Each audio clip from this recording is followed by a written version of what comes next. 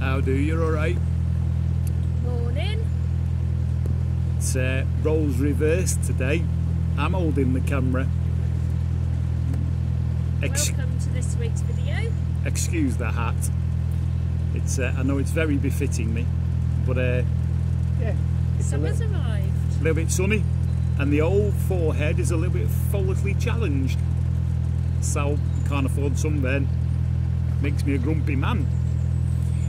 So, what are we talking about today? So this week's video is a bit different. We're going to give you a bit of information about our experience of having our boat safety examination. A very pleasant experience it has been too Really?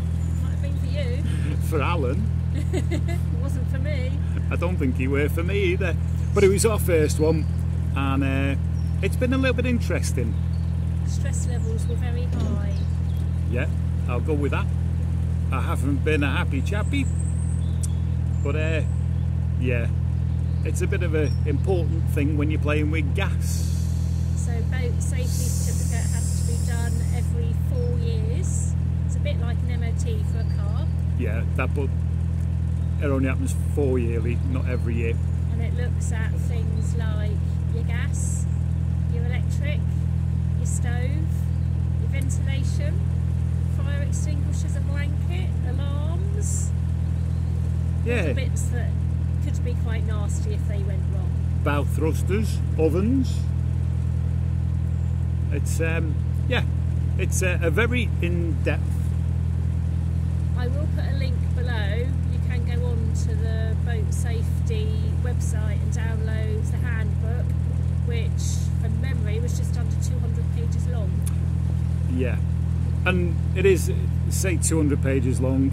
It's advisories for examiners and you as to what is needed to be checked on.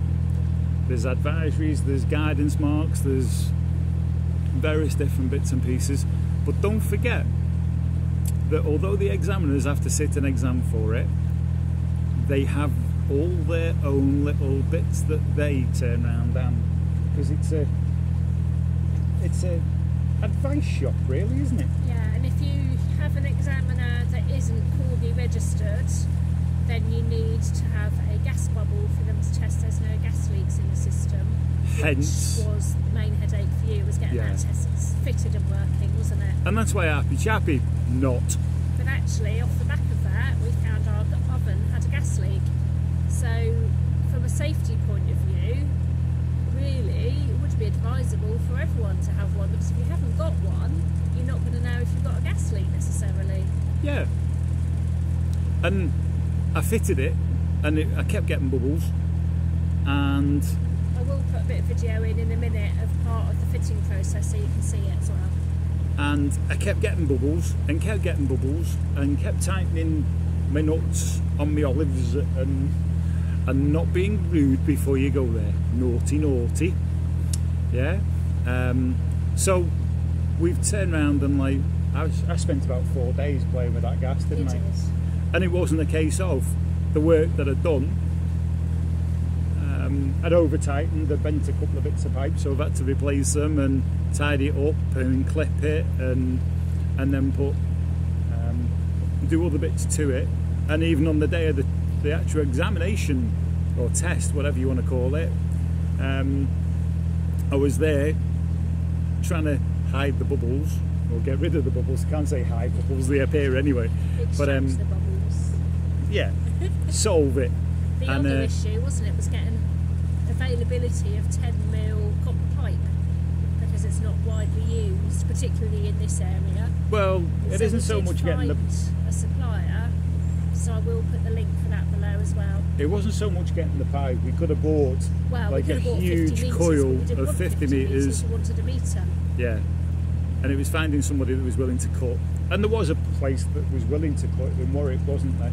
And then sell the remainder on. But But yeah, I'll put a link Yeah. below because it was over near Halesowen that we got it in the end. So Yeah. I'll put a link below so if you're in this area and you do need shorter lengths of it, that is somewhere that you can approach to get some. I actually found it on eBay, but in the end we went and picked it up from the workshop. we did because that's the beauty of having the van. So, what else? So you had three bits really that it failed on, didn't you? Yeah, we failed on the gas bubbles, which, with the help of Alan and some of the stuff that he turned around and had, um, like he proved the fact that what I'd done wasn't that bad. Um, uh, I failed on. Yeah. wire. Yeah, okay. We had conduit that was missing to protect the casing of the wires from rubbing. I had some clips that I'd missed. Um, um, um, So the conduit wire was um, on the wires for the batteries, wasn't it? yeah. From the battery, starter battery to the engine, and then that um, needed securing better, didn't it? Yeah, it did. So that was the conduit. We turned round and had a few P clips to secure electric cable.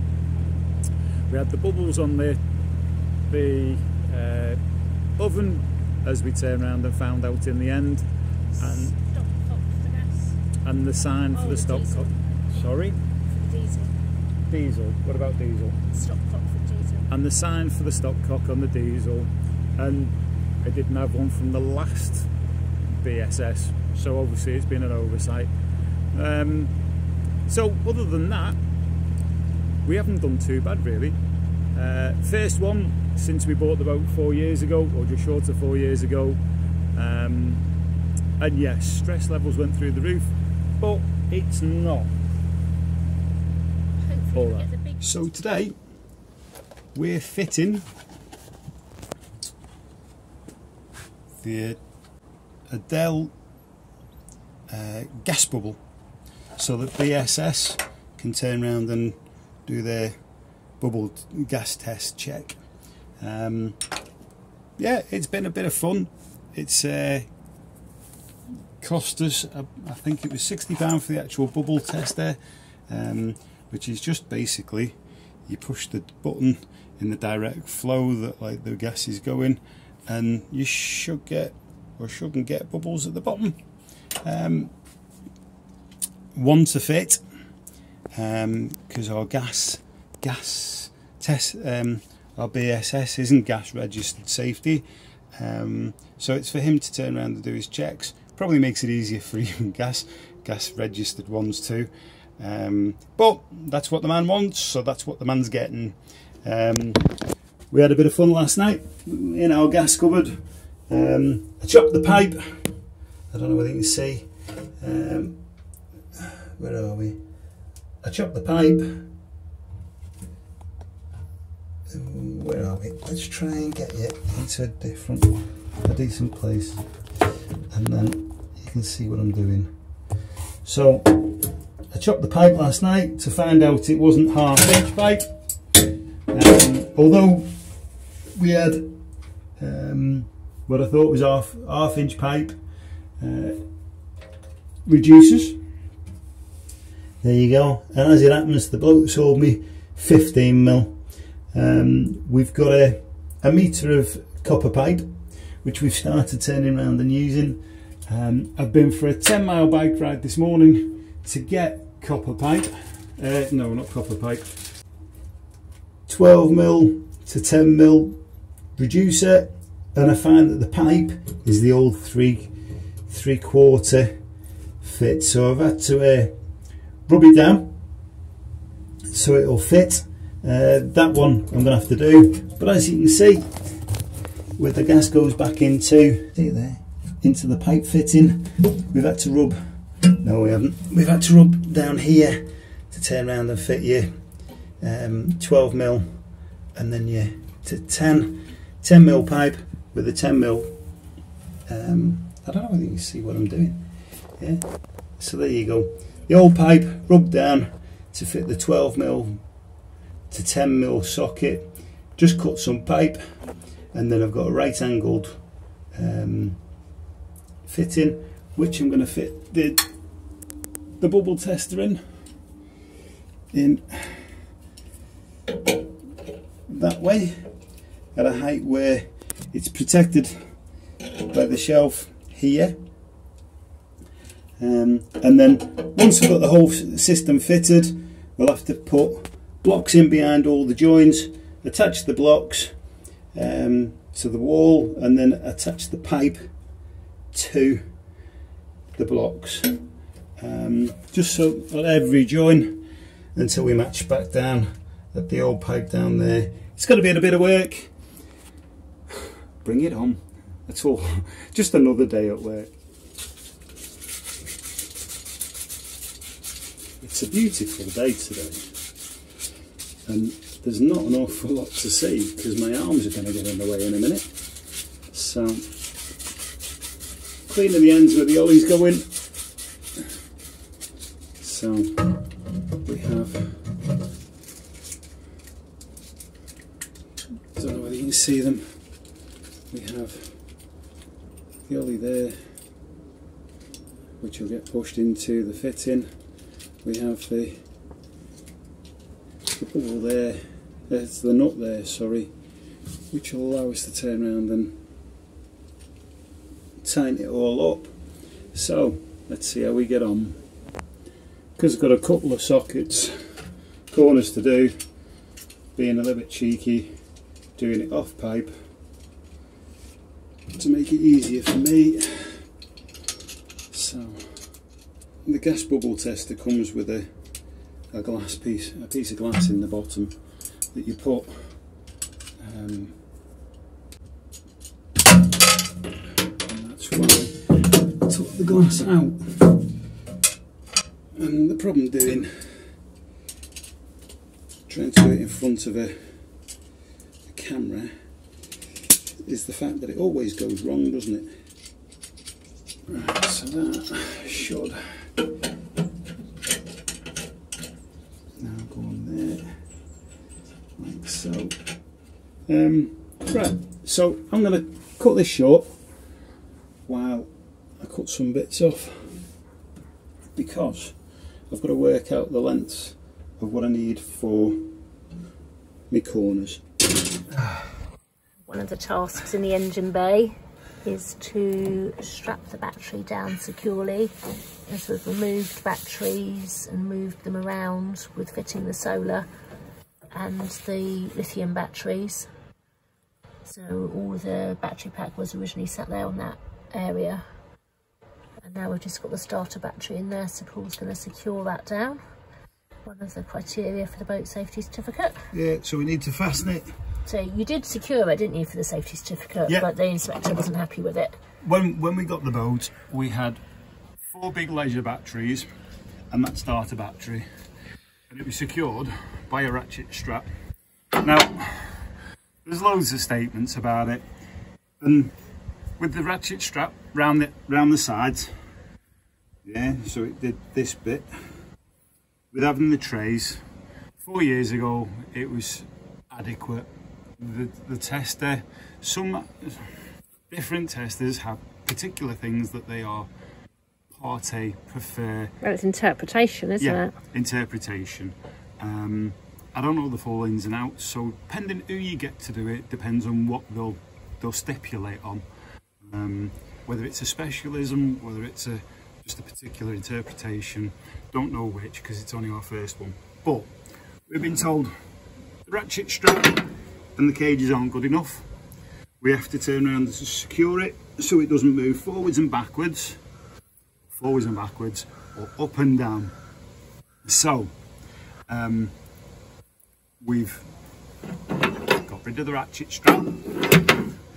Um, and I've been told that if I put some timber down the side to secure it from moving, and it's only got, there's allow, allowance of 10 mil, I think it was. Um, but we'll secure it so we can get in and out of it. Um, and then I've been told I can get away with putting because it can't move upwards and downwards. So I've been advised that if I get a piece of timber there and then wedge it upwards so it can't go upwards, and I suppose it's for going out on the wash and So it doesn't bounce stuff and it doesn't bounce about and and move. So do I- an examiner asks, and like I say, different ones have different preferences. Um, so don't pull me on the fact that like, yes, I'm using a piece of timber and wedging it in. because that's the requirement. So that's that. And then I've been told that I need to protect the sleeve on on all the cables. So we've been down to Wickes, bought a five meter length uh, piece of conduit, and then we'll just put, slice up the edge and then wrap it round and put a zip tie on it just to hold it in place so that like if the cable moves anyway over any of the, the metal work it doesn't wear because these these uh, cages for the old batteries are going to stay in place. Um, so there's potential wearing which once you've worn it out metal and metal don't go together and it shorts things out so that's one of the jobs. And then we've also got our fuel cock below which is is basically uh, you need to advise where your shut off caps are. So somewhere above and what we're going to do is we're going to use the just about there I'm going to drill two holes in either bolt it or screw it and then like we can either access it from the engine hatch where I am or into the weed hatch as well um, which attach move in. You can just see the edge of where I get down to for the weed hatch.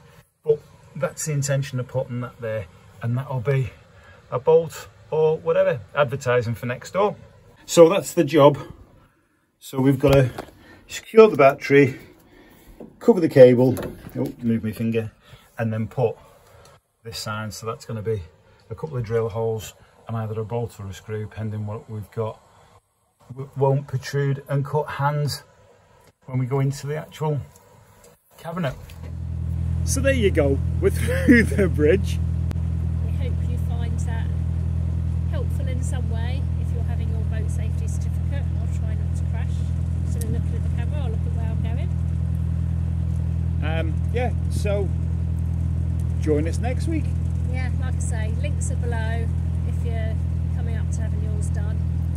If you've got any more specific questions, by all means pop them in the comments below. If we can't answer them, we'll find someone that can for you. and hopefully it'll be still as sunny as this come next week then So next week's video, we will see us on the Rushall Canal, which was the only bit of the BCN that we didn't manage to do last year because it was closed, and Brownhills Festival. This is the first time we've done Brownhills Festival, and there was a bath in the canal. So do have a look next week to see what that's all about.